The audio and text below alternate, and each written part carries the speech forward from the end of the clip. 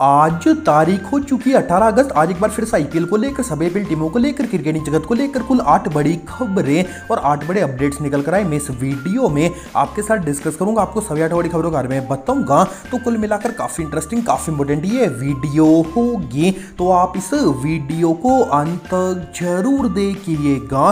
लेकिन उससे पहले अगर आप भी ये क्रिकेट के बड़े फ़ैन तो हमारी इस वीडियो लाइक करके चैनल को सब्सक्राइब ज़रूर करें, ताकि ताकि आपको क्रिकेट से जुड़ी जानकारी सबसे पहले मिलती रहे। अब हम बात करते हैं यहाँ पर सभी तो बड़ी खबरों की तो जो सबसे पहली बड़ी खबर निकल कर आती होती है लखनऊ सुपर जाइंट्स की तरफ़ से। दरअसल लखनऊ की टीम ने अब यहाँ पर एक यहाँ पर नए कोच की, अब लखनऊ की टीम में एंट्री हुई जहाँ पर पूर्व भारतीय सेलेक्टर एम एस के प्रसाद जो कि 2019 के वर्ल्ड तक, वर्ल्ड कप तक भारतीय टीम के सिलेक्टर थे, वो यहाँ पर स्ट्रेटेजिक यहाँ पर कोच के रूप में अब लखनऊ की टीम में आ चुके दरअसल आईपीएल में पहली बार किसी टीम ने यहाँ पर स्ट्रेटेजिक कोच यहाँ पर यूज़ किया। इससे पहले हालाँकि मुंबई ने भी 2008 में इस प्रकार का यहाँ पर कोच का यहाँ पर प्रयोग किया था। उस उस साल मुंबई की टीम प्ले में भी क्वालिफाई नहीं कर पाई थी। लंबे समय बाद लगभग 15-16 साल के बाद अब लखनऊ की टीम ने यहाँ पर स्ट्रेटेजिक कोच यहाँ पर नियुक्त किया एम एस के प्रसाद लखनऊ के यहाँ पर नए यहाँ पर अब स्ट्रेटेजिक कोच बने, जहाँ पर इस टीम के लिए हेड कोच के रूप में तो इस साल यहाँ पर जस्टिन लेंगर की एंट्री हुई। इसके साथ गौतम गंभीर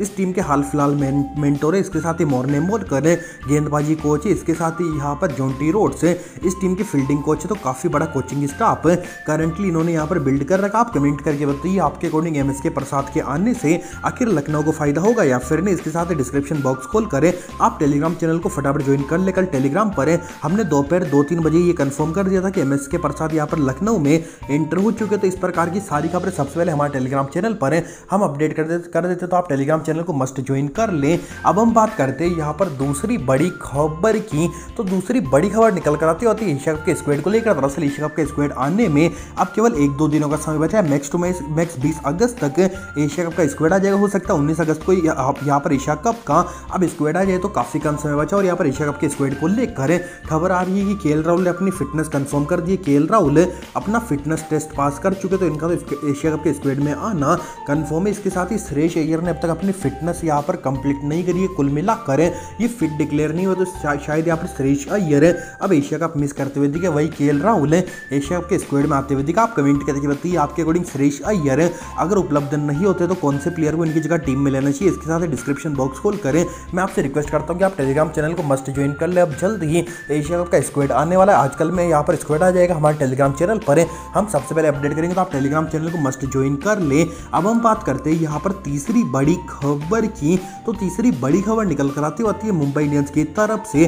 दरअसल मुंबई की टीम के लिए बुरी खबर है। मुंबई की टीम ने जोफर आर्चर पर काफ़ी अधिक इन्वेस्ट किया था। मुंबई को ये तो ट्रस्ट था कि 2000 2023 के आईपीएल में ये पूरा आईपीएल खेलेंगे, लेकिन 2023 के आईपीएल में केवल तीन चार मुकाबले खेल कर, ये बार हो गए थे। इसके बाद मुंबई की टीम को ट्रस्ट था कि यहाँ पर वर्ल्ड कप में कम कर लेंगे, उसके बाद ऐसे ट्वेंटी लीग मुंबई के लिए खेलेंगे, और उसके बाद आईपीएल मुंबई के लिए खेलेंगे, लेकिन अब तो यहाँ पर आर्चर वर्ल्ड कप के स्क्वाड में भी नहीं है। वर्ल्ड कप में केवल ये रिज़र्व प्लेयर में, हालाँकि रिज़र्व प्लेयर में भी नहीं है, यहाँ पर ये टीम में, यहाँ पर टीम के साथ ट्रेवल करेंगे। अगर यहाँ पर ये अपने आप को फिट महसूस करते तो वर्ल्ड कप में शायद ये एक आधा मुकाबला खेल जाए। अदरवाइज़ जोफ्रा आर्चर एक भी मुकाबला नहीं खेलेंगे तो कुल मिला करे अब मुंबई की टीम को ना चाहकर भी इनको रिलीज़ करना होगा। शायद आईपीएल तक भी ये यहाँ पर मैच फिट ना हो पाए इस साल भी मुंबई के लिए। अब शायद तीन चार पाँच मुकाबलों से ज़्यादा ये मुकाबले ना खेल पाए। इवन यहाँ पर बुमराह बुमराह आज की तारीख में फिट हो चुके हैं, लेकिन आर्चर अभी तक भी फिट नहीं हुए हैं। आप कमेंट करके बताइए, आपके अकॉर्डिंग आर्चर को रिलीज़ करके मुंबई को आर्चर की जगह कौन से प्लेयर को अपनी टीम में शामिल करना चाहिए? अब बात करते हैं चौथी बड़ी खबर की। तो चौथी बड़ी खबर निकल कर आती है चेन्नई की तरफ़ से।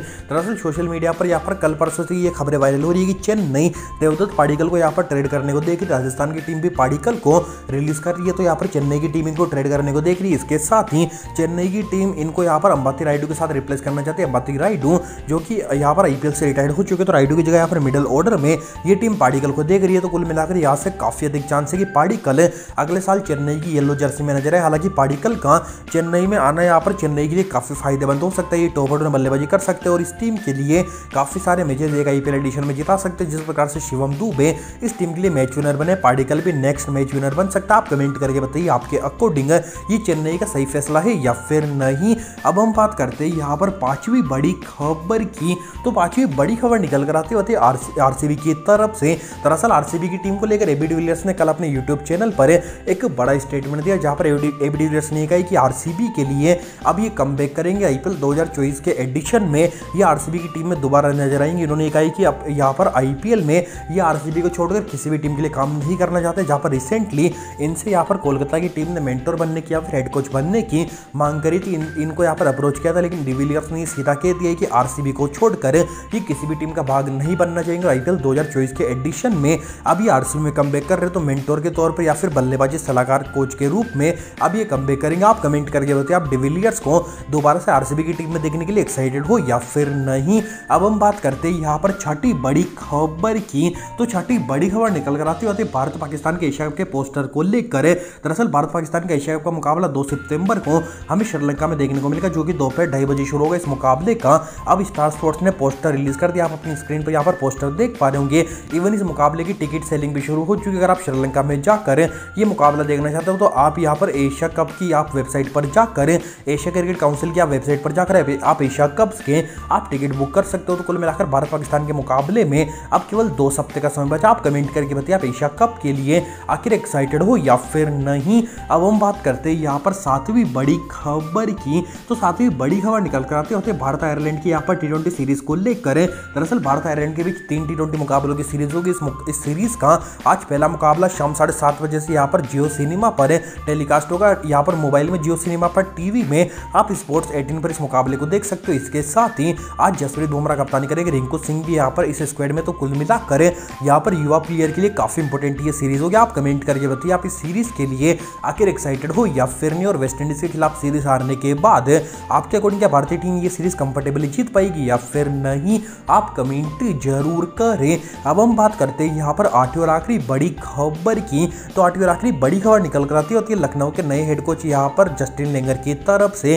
दरअसल लखनऊ के नए हेड कोच जस्टिन लेंगर ने ये कहा है कि यहाँ पर के राहुल को तो ये टीम यहाँ पर अपनी टीम से छोड़ने को देख रही है। इसके साथ ही नए कप्तान को लेकर यहाँ पर लखनऊ की टीम ने सारे डिसीज़न बना लिए। कुल मिलाकर जस्टिन लेंगर ने कंफर्म कर दिया कि कौन यहाँ पर लखनऊ कप्तान होगा। इस यहाँ पर सवाल का लखनऊ को जवाब मिल चुका है। लखनऊ की मैनेजमेंट और ऑनर्स मिलकर नया कप्तान यहाँ पर अपनी तरफ़ से तो यहाँ पर कंफर्म कर चुके तो कुल मिलाकर इन्होंने भले ही नाम रिवील नहीं किया, लेकिन मेंटली इन्होंने अपने नए कप्तान की तैयारियाँ कर ली। नए कप्तान को यहाँ पर ये टीम तो ऑलमोस्ट फाइनलाइज कर चुकी वैसे आप कमेंट करके बताइए, आपके अकॉर्डिंग आखिर के राहुल के बाद लखनऊ में कौन इस टीम का कप्तान होगा? ऑप्शन से पहले अपने स्क्वाड से ही ये टीम कप्तान यहाँ पर अनाउंस करेगी या फिर ऑप्शन में नए कप्तान को ये टीम परचेस करेगी? आप अपनी राय कमेंट ज़रूर करें।